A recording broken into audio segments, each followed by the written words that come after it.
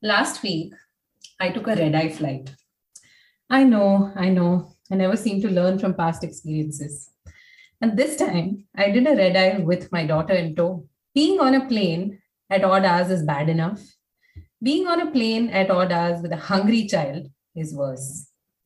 Just for some context, this child had spent six hours hungry and she was looking at two more hours because guess what I had done? I had forgotten to order dinner on the flight. Now, here I was, you know, with a cranky child, wondering what the hell do I do? Do I buy some nuts? Do I manage with juice? Honestly, how is this going to even work out? And I was practically staring at probably the worst two hours of my life in recent memory. At which point in time, Neetu Krishna, the lead cabin crew member on that IndiGo plane, decided that her sandwich and her hunger were not as important as the hunger of a child. Being in a service role, one where you have to face hundreds of customers every single day, is hard enough. Neetu must have spent the entire day on her feet, and yet she willingly gave her entire meal away without so much as feeling sorry for herself. What she did was an individual choice. But after this experience, I couldn't help but think hey, I'm always going to travel with IndiGo. When we think of brand strategy, we often wonder why do we need someone else to tell our stories? Why can't we know what they are for ourselves? Why the hell should I invest in a good brand strategy? Now, I think that that's because a brand isn't something we build at all. It's not built by the company. A brand is how people, consumers, employees, stakeholders, investors perceive what we've already built. Welcome to the Damn Good Marketing Podcast. Today, let's really dive deep into brand strategy, what it is, what it isn't, but definitely why it really is step one towards building something great. Joining me today are Madhav Maheshwaran, Mahesh, Managing Director, Stereo Associates India, and Thomas Sehested, Strategy Director, Stereo Associates. Hi, Mahesh. Hi, Thomas. Hello. Yes, Sita. Thank you so much for being here today. So, I'm going to jump right in and ask you the big question first.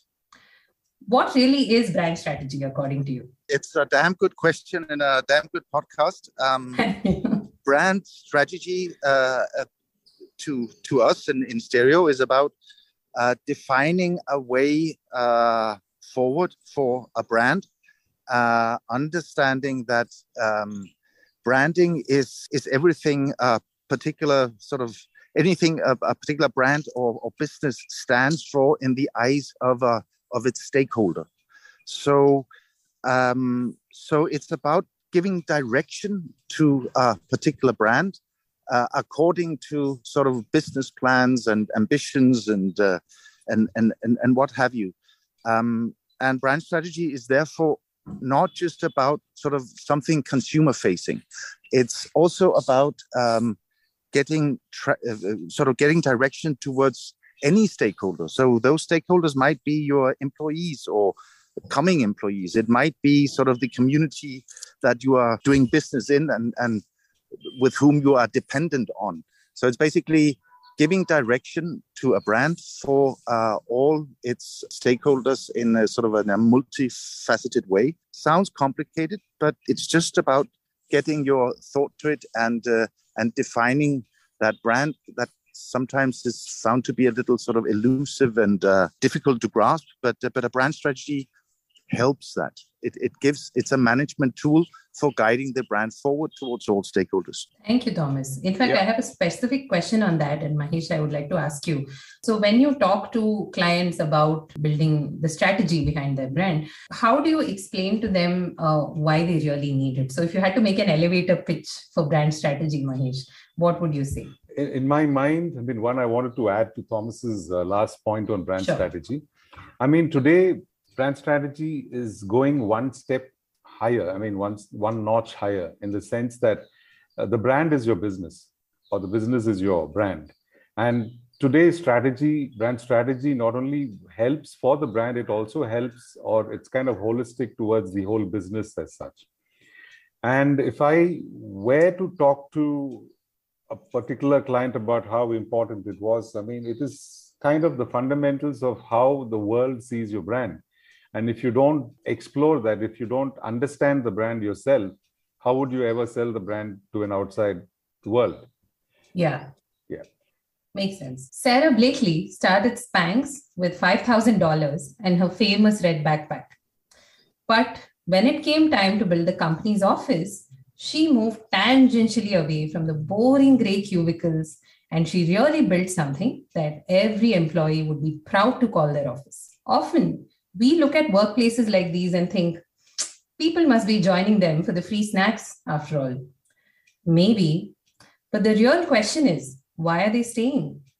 They're staying because the brand's culture inspires creativity. It encourages free thinking. And that is the true potential of a great brand story. Thomas, I know this is one of your uh, pet peeves. So I'm going to go right up and ask Is the purpose of brand strategy only to help marketing efforts, or is there actually more to it? That's the thing. When talking about branding, some people see it as a sort of only a visual side, that it's something that is, um, again, only consumer facing, what you see. But um, brand strategy is actually a sort of a senior management tool. It's uh, it's it's board room level material because a brand strategy is not just about the marketing side. The marketing department should follow the brand strategy, um, but but not be the driver of it. In in my view, they should be sort of perhaps the most prominent users of the brand strategy, and a communication strategy has to come out of a brand strategy. But but as Mahesh was saying, brand strategy is sort of above marketing. Brand strategies, when well executed, has a lot of potential. I mean, almost always has a lot of potential for marketing people, but it's it's not a marketing driven exercise. When it is, we very often see that it actually fails because it becomes brand strategy is as I mean, as the word says, strategy, whereas marketing people very often work in a tactical environment. And uh, and and it's not because marketing people are not important or i mean the tactical level is important but but and again as mahesh was saying how do you do the tactics if you don't know the strategy so um so so that's why i think uh, uh, well executed brand strategies are most often than not um, boardroom level material and uh, it's, it should have that high priority so that the senior management, when the brand strategy is done, that they take the lead, that they are, so to say, the torch bearers of the brand strategy. Otherwise, sometimes ends becoming a little uh, just another exercise. So, in that context, uh, once you do a brand workshop and you share the collaterals uh, that are a product of that workshop, what would be your recommendation to the company's leadership or the organization's leadership in terms of actually activating uh, what you've put on paper? What, what would be step one, step two in that context? Brand strategies are many different things. A brand strategy for a startup, let's say, is is uh, is of course different than a brand strategy for a larger company. The uh, for a startup, a brand strategy is is very often about getting sort of just the basics in place. For a more sort of mature organization, uh, there are other things in, in place. For a mature organization, sort of with many people, I would gather the employees uh, for a town hall meeting and explain what this brand strategy is, why we've done it, and what it means to people, and how we'd like them to live by that brand strategy, and what initiatives will be taken as per the brand strategy so that it, it has to be seen as something uh, sort of serious. It's not just a play with, with smart words and, um, and nice uh, design. It's business critical. And that needs to be conveyed to the full organization in a sort of a, in a in a proper manner because at the end of the day it's the employees that have to live the values and, of and the brand yeah. exactly yeah. exactly. Mahesh any examples that come to mind on this front in terms of maybe some of the projects that you've done in recent times where the company has actually gone out and implemented your recommendation in a way that's you know truly worthy of uh, a conversation? I mean I, I wouldn't probably say something like a town hall meeting or anything like that but i think uh, Sai Life Sciences, one of our clients in the, over the last few years, has been a great example of trying to implement the thoughts which have arisen out of the strategy phase into a typical work culture. Okay. And also, Sai Life Sciences being a kind of a B2B company, and we were doing a lot of work with its employees. It gave hmm. us a better reach to kind of communicate and talk to the employees in multiple formats. Perhaps can I just add one thing here? Sure, yeah. Thomas. Yeah. Um, so uh, we've had uh, the pleasure of working with a sort of large uh, industrial client out of Bangalore, and um, we were supposed to get to have a sort of a, a startup workshop, which often is with four to eight people, and um, this organization we've sort of started to getting to know. It uh, was seen as an organization that was sort of very value driven, very people driven. So when we arrived uh, at the uh, workshop, 40 people were there. Oh, wow. So and and that that uh, and I didn't know that uh, Mahesh was, uh, it was Mahesh and I uh, doing it. So we had to sort of quickly change sort of the format of the workshop.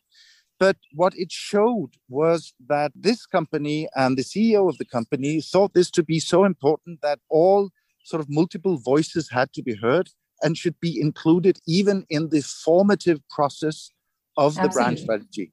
So it tells a lot about sort of what kind of company this is. And it, it enabled us to get sort of a sort of, I believe, a very truthful insight into the company and its values and and and, and why they were doing so good because it was uh, truly a people-driven uh, organization. Amazing, amazing. That's actually great to hear. Uh, like Thomas said, I mean, it also kind of motivates us to do better, to kind of challenge ourselves and make sure that you know, keeping everybody on board. Hmm. Absolutely, yeah. yeah. And what what in, in that particular project, what it it ended up with was um, that that all of these employees they had various statements of what this company did for them or for the world and all of these statements are now uh, put on the uh, manufacturing uh, facilities, on buses, on trucks at the factory, sort of people's wow. own words. So I think that that's a strong example of, of, of what a brand strategy can do if you really take it seriously. Absolutely. Yeah. Yeah. That's actually a very inspiring example for sure. So my next question, uh, because I'm a marketing professional, uh, my thinking around brand strategy is always about how do I use this to influence human behavior. Because while the marketing function is typically considered, uh, unfortunately, uh, to be a lead generation engine, what we're really in the business of is changing how people think. So, for people in marketing, uh, where the job is to influence other people, how could I potentially use a brand strategy framework? So, there are, of course, different methodologies of doing brand strategy. We have our way. I mean, it, it, it works. so according to sort of the way we work, we start off by sort of digging a little deep into sort of, yeah, both the values and the brand personality and, and other traits of, of the brand. And, and that we, uh, those uh, words and those um, sort of that essence you could call it a brand essence. We will explain in, in words what it means so that it's easy uh, digestible that yeah. it's easy to understand that there should also be a certain emotional connect to it so that it's not just i mean if you just put words like uh, innovation and quality and uh, those kind of sort of a little hard words a little uh, sort of they have no taste to them. But hmm. um, so so there should be an emotional connect together with rational connect. And marketing people i often find um, see this as a great way of expressing the brand in those adverts that has to be done. And that's what i'm I, I, keep repeating myself that a brand strategy is a management tool. It's the foundation of how shall we guide the world towards seeing our brand as it truthfully is.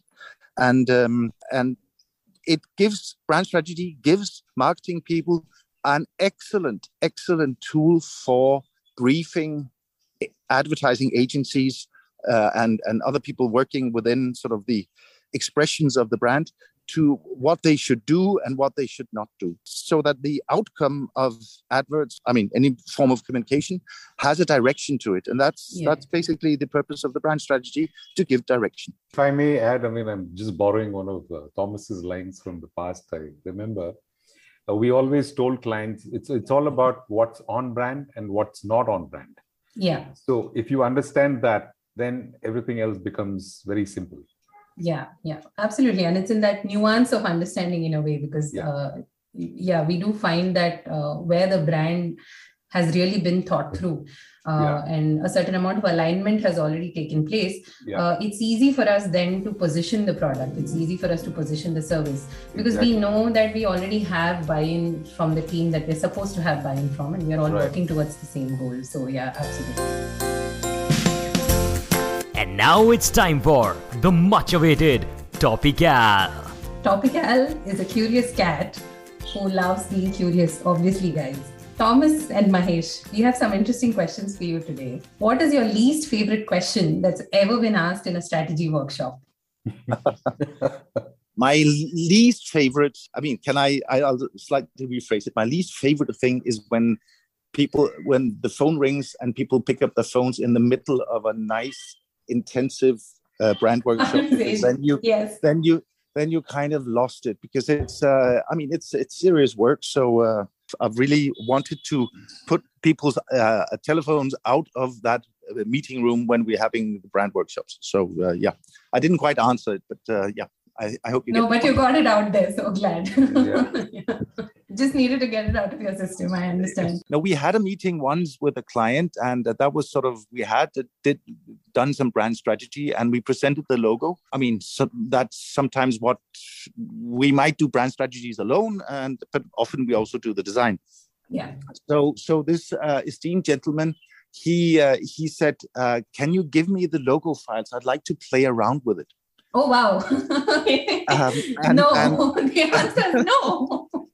Uh, uh, it, it, it was a no, and we lost the client. Um, okay. but uh, but it says something around the sort of and, and I know we as sort of branding and communication people sometimes when people say uh, we'd like to play around with it or or could you play around with something it, it gives me a little I, I, get a little angry because it's i mean this is not play i mean it's hard work it's uh, years of experience it's uh, yeah. years of education yeah. so we don't play around. And when we do photo shoots, we don't uh, snap a photo. We make a photography. Sometimes, um, I mean, if if a relationship with a client as being in, as too easy, perhaps I guess sometimes. Exactly. If it's a photo, people might see it. A photo is a photo. No, it's not. I mean, it's. Uh, it's a, it's a visual representation of something, but there's definitely a uh, you can tell a really good photograph Story from a, a bad one. Yeah, yeah exactly. Absolutely. That again that the the, the photography for uh, a brand should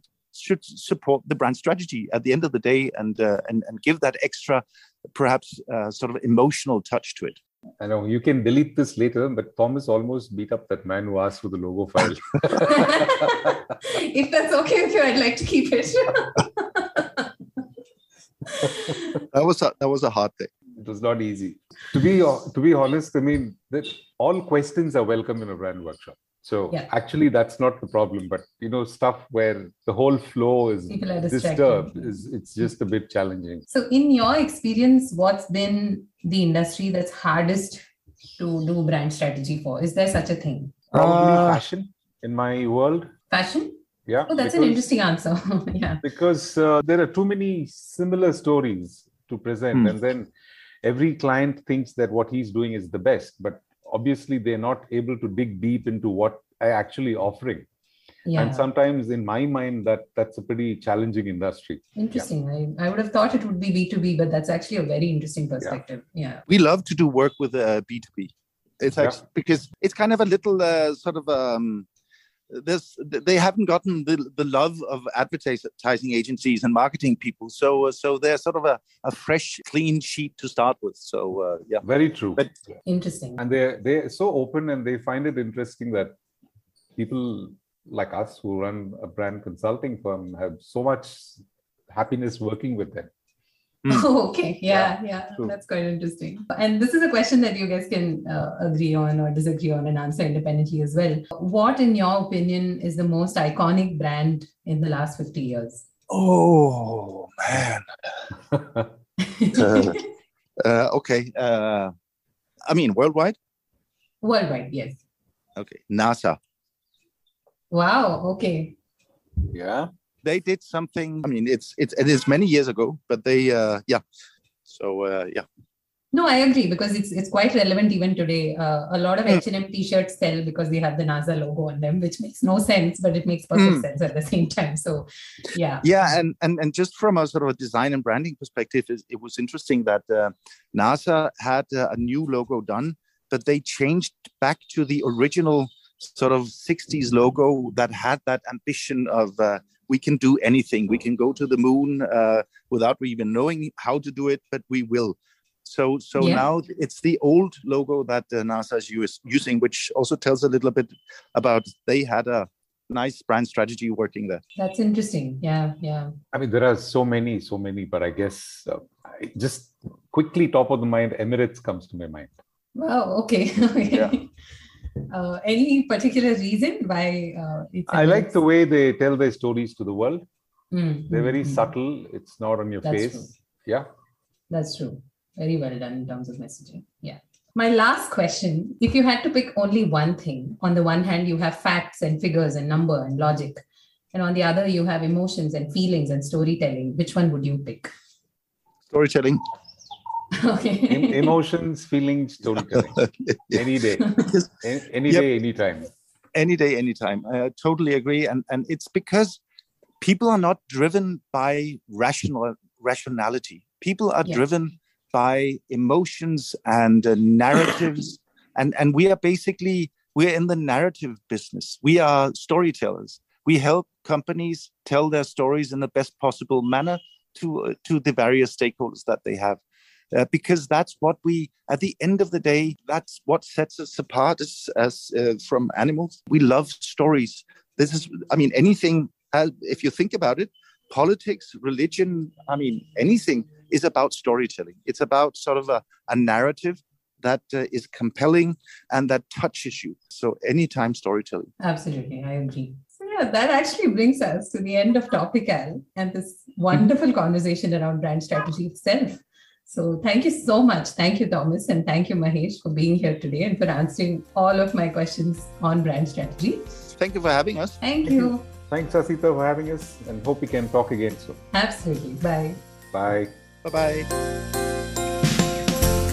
Cognizant Technologies has recently launched both a print and a digital campaign whose tagline is Intuition Engineered. Now, that's just not a campaign, it's also a concept. And on their homepage, they describe it as anticipating trends, driving meaningful change, outthinking your competition. That's the power of intuition, and we can engineer it. A very powerful message, if there was one. But while I was coming back from the airport, I saw a print hoarding that said something on the lines of put something in, get something out. That's intuition engineered. Now, the very fact that I do not even remember what the hoarding said says something about how the campaign did get diluted. And it also makes me think a little bit about the whole head and heart component in brand strategy and marketing in general. Do we spend too much time with the numbers and the facts and the techniques? in recent times, we've had loads of marketing and brand heavyweights come out and talk about making not too big a deal out of the numbers, you know. The senior manager for global insights at Lego has explicitly said on a podcast episode, which will be linked in the show notes, that the way to get into people's heads is not with numbers alone. As Thomas said, we are story driven. We are people who believe in stories. Rand Fishkin at SparkToro caused a little bit of a LinkedIn storm recently when he said, proving marketing attribution isn't actually hard. I just think it's counterproductive. Honestly, I think having worked with Stereo Associates, having sat in on their brand workshops, and having been responsible for taking that brand strategy and translating it into a GTM, a positioning statement, marketing outcomes, communications, I've realized that there is the storytelling component which is central to every business. And i think it doesn't matter whether you're a b2b company and therefore you have a larger buying committee you have to use logic absolutely by all means but the fact is that with a good story you give people something to rally around and that in my opinion is the true power of great brand strategy thank you so much for tuning in today i hope this conversation was insightful i hope it sparked a lot of questions for you and if it did, please reach out to me on LinkedIn. My LinkedIn profile link is also in the show notes and let me know what you thought. If you have questions for Thomas and Mahesh, I'd be happy to ask them and answer them for you as well. Meanwhile, while you're here, please do rate our podcast. And if you're on Apple Podcasts, give us a follow and leave us a review. Thank you so much.